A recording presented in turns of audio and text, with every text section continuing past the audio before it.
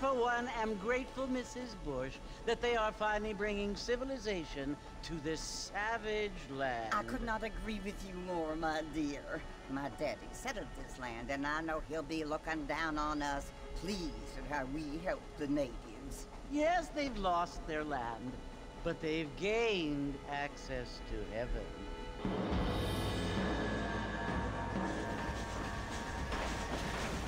But Father, do you mean unless an innocent receives communion, they're destined to go to hell? Uh, It hardly seems fair. What I mean to say, Jenny, is that there is a great deal of difference between an innocent and a savage. I never thought of it that way. Yes, they lived like animals, but they're happier now. Uh-huh.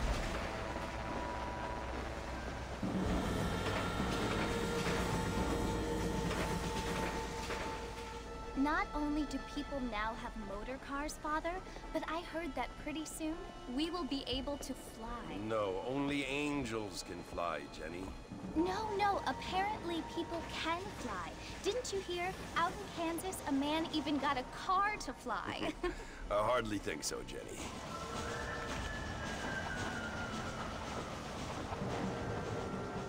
Apparently, Mr. Johns wants to run for governor, which is why he's so concerned with cleaning up the state. Nate Johns.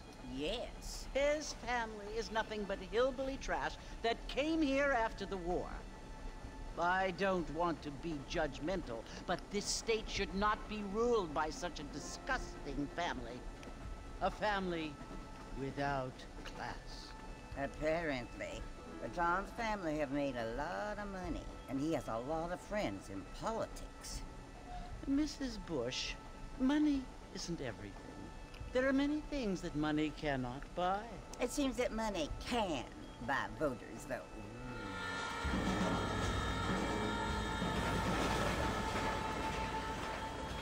What you must remember, my dear, is that we have been brought here to spread the word. And the word and civilization, they are the same thing. They are the gifts. It is the opportunity we have, the chance to live among people who are decent and who do not kill each other. And who let you worship in peace. It, it's so confusing, Father.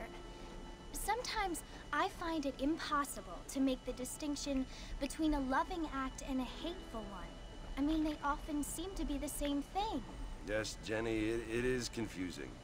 But you only have to ask me if you need help. Indeed. Well, here we are, Mrs. Bush. Armadillo.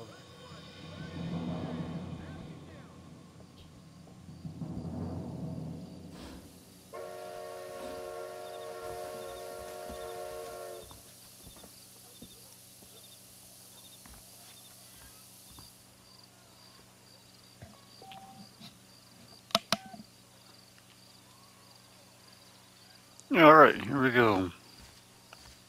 Red Dead Redemption 1. I just got done playing the second game as well. Um, I actually started playing the first, or the second game, uh, before I, the rumors even started. With the remaster, well, this is a remaster, but you know, rumors started they were putting this on the PlayStation. This guy.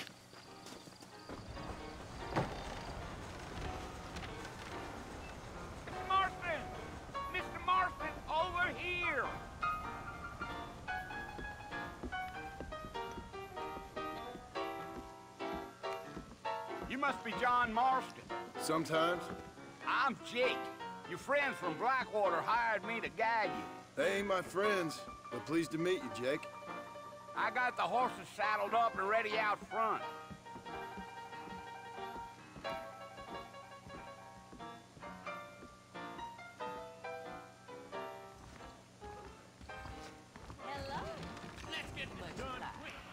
Follow Jake to the horses.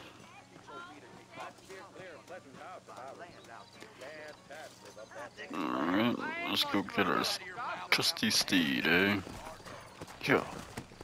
You ain't gonna find sturdier horses than these in all of New see, on the spurs now, we don't need to draw undue attention. Gee. Ooh. Hey,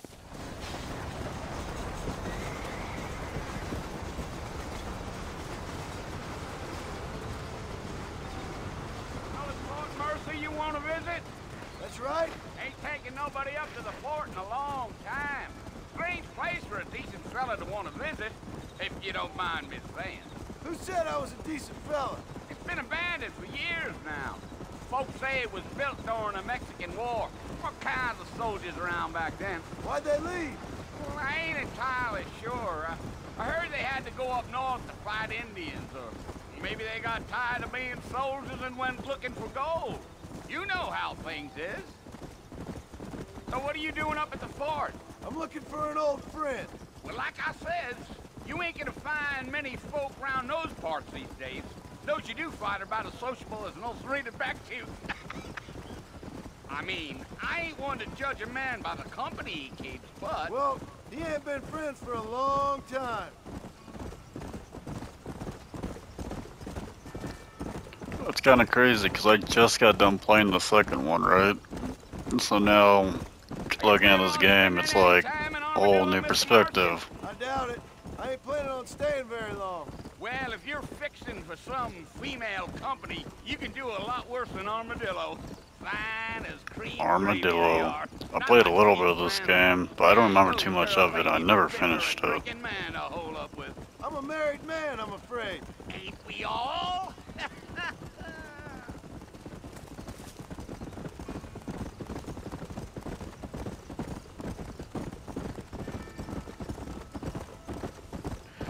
Yeah, I was playing Red Dead uh, 2, who hired me. Lee and? I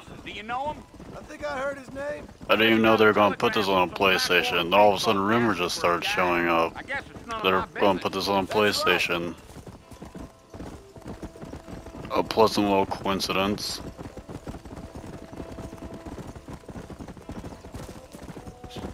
You ain't very talkative, are you? Nope. I'm just chewing the dog, mister. It's how I am. I don't mean nothing by it. Trust me. There's things you're better off not knowing.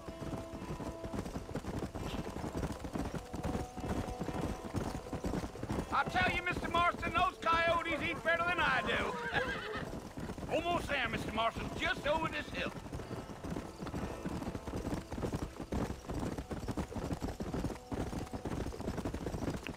This game looks pretty good, Whoa there.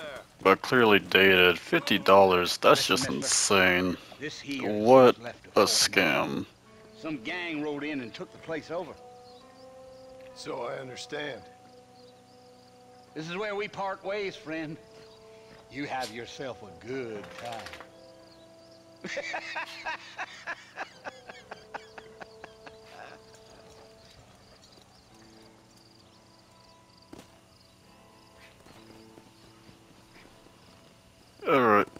here we go. Approach Fort Mercer.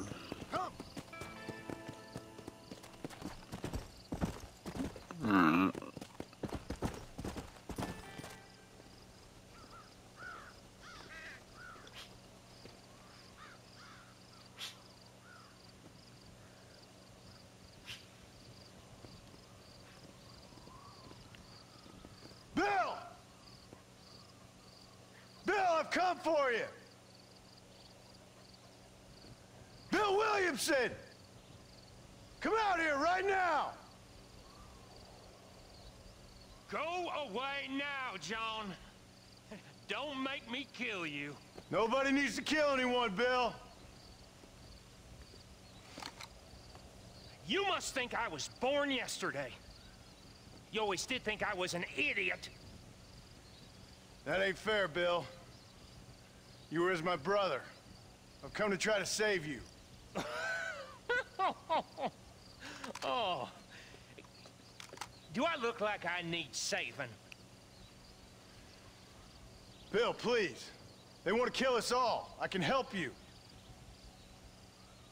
Well, you never tried to save me before. You only seemed to save yourself.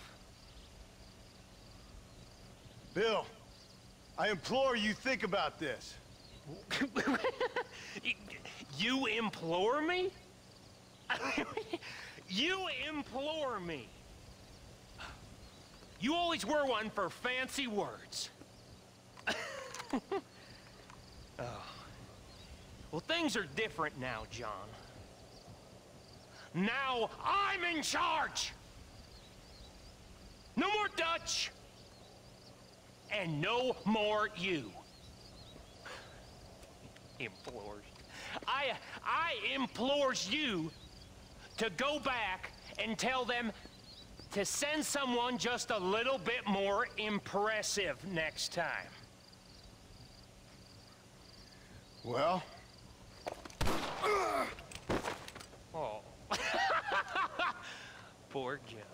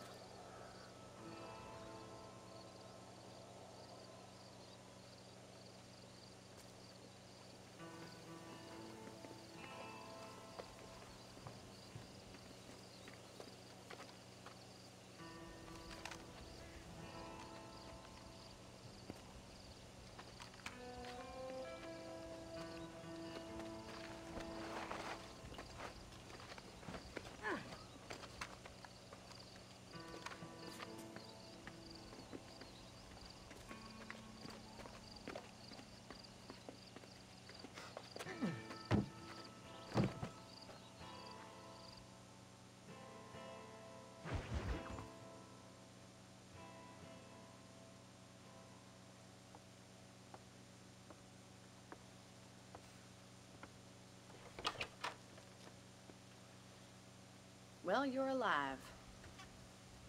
So it would seem. So, how do you feel? I don't know the polite word for it. I do. Stupid is the word we use around here. What were you doing? I was...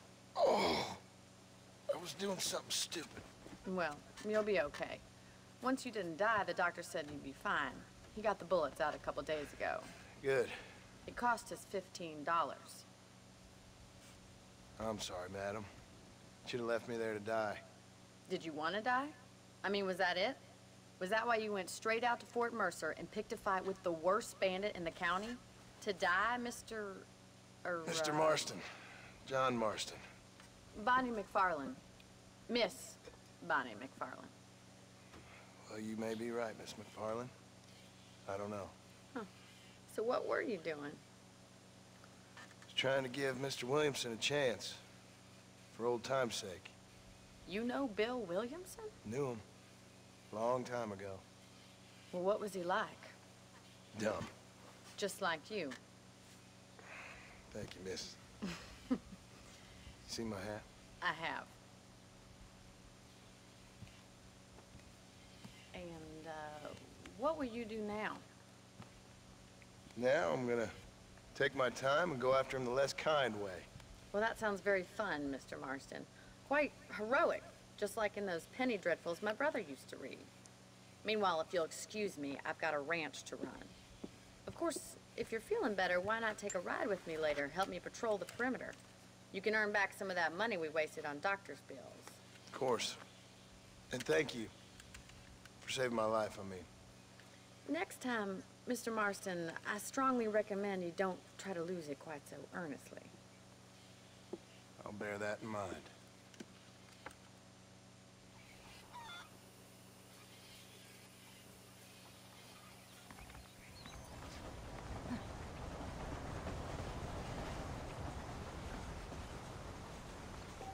Yeah, I don't know what he was thinking, just pulling up a pistol, like, at a fort like that, with a whole bunch of guns pointed down on you, while you're wide out in the open. How did you think that was gonna go, buddy?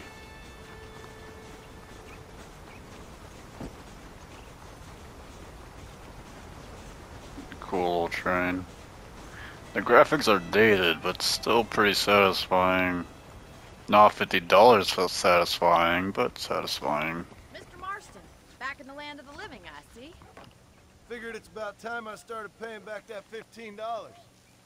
Well, no time to waste. The horses are saddled up over here. Don't be like me, kids, and be part of the problem.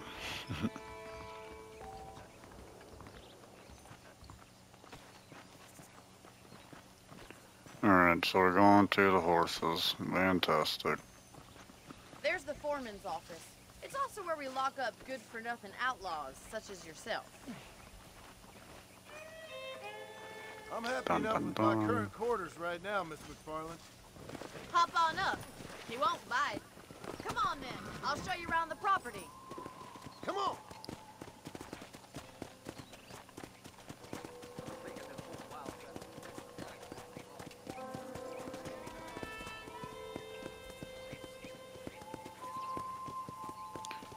Alright, so we're just going on a little tour of the of the ranch, the ranch town. To your right is the general store. You won't find Parisian high fashion, but it's good for the essentials. Very convenient. I don't think I've General ever seen a ranch with its own store before. I like how this one's more of a desert aesthetic. The western forest was cool, but you can never go wrong with the western What do you desert. I'm no expert, but it certainly looks like a fine corral. I suspect you've stolen more horses than you've broken. Now, where'd you get such an idea? First impressions are hard Outlaw. to erase. Outlaw life. That's the train station. Things sure have changed since the line finally got finished. Five Bringing in thousand all dollars for of new folks horses. Like. Is that such a bad thing? Change is only good when it makes things better. Go! Yeah, seriously. Change is only good when it makes things better. I don't have time to be waiting around. I got caught behind a tree. Hold on.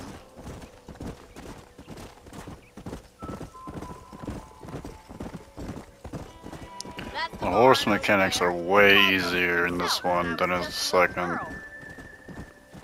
Ooh. As I go way off course.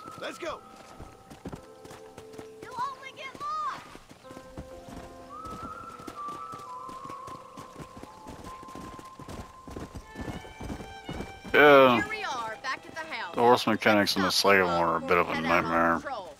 You'll get no complaints from me, Miss McFarland. Whoa there. Yeah, hitch the horse. Come on, this is the only chance you're gonna get to rest.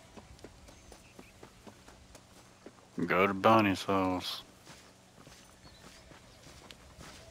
I think Bonnie How about with a them drink, bell Mr. Pants.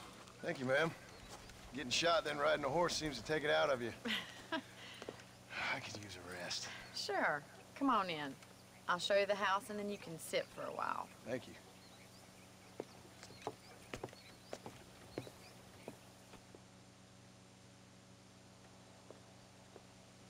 Mr. Marston, Miss McFarland. remember me telling you about the trouble we've been having with rustlers and other undesirables? I do? Will you help me keep watch on the property line this evening? Sure. I want to see just who is trespassing on our land. This is a fine weapon. Come, let's head out. The country is really beautiful at around this time.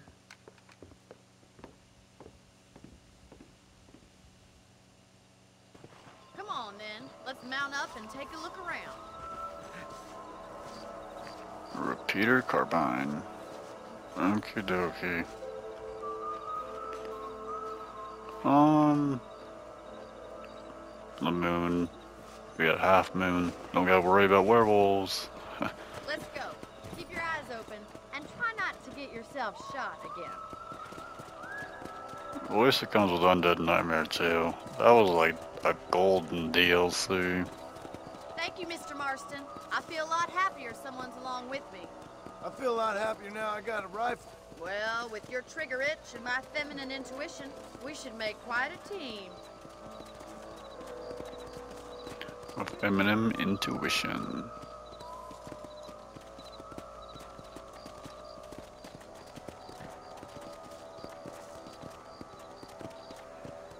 Yeah, I can't wait to get started on Undead Nightmare. rabbits are back.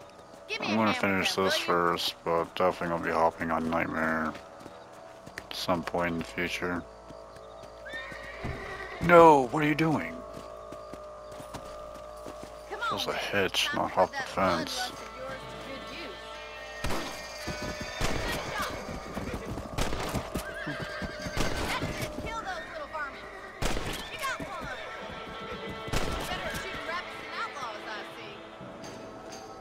it. would appear little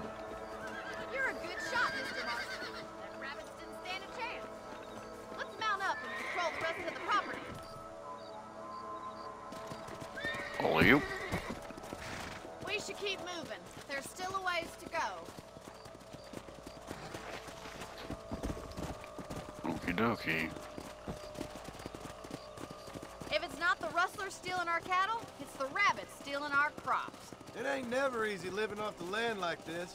Maybe you should move to a big city. Become a lady of leisure. Look out! Coyote!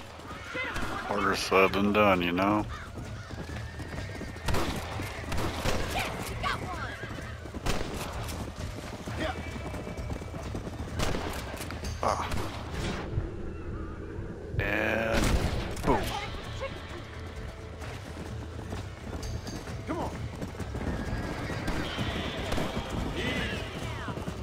All coyote! Oh, I shot the chicken.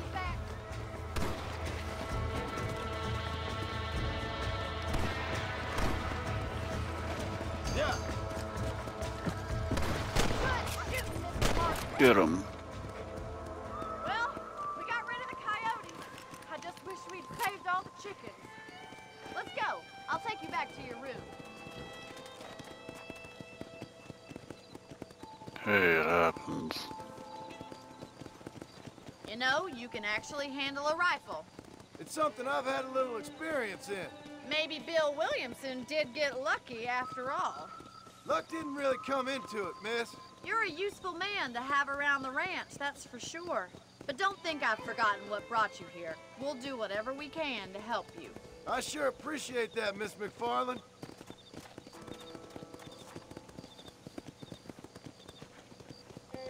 This is you, Mr. Marston. After playing the second game, it's like, yeah, this dude's been through some shit. He can definitely handle himself. Thank you for your help, Mr. Marston. Makes me kind of happy I saved your life. Get some sleep and I will see you in the morning. Good night, Miss McFarland.